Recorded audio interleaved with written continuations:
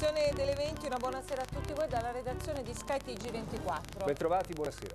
Anche ai telespettatori di cielo andiamo subito in Afghanistan perché in primo piano c'è la morte del soldato italiano, il caporal maggiore degli alpini Matteo Miotto è stato colpito da un, cecchi, un cecchino.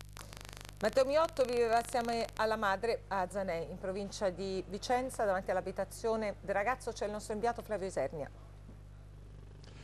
13 militari italiani morti è il bilancio del 2010 che sarà ricordato come l'anno peggiore della missione in Afghanistan.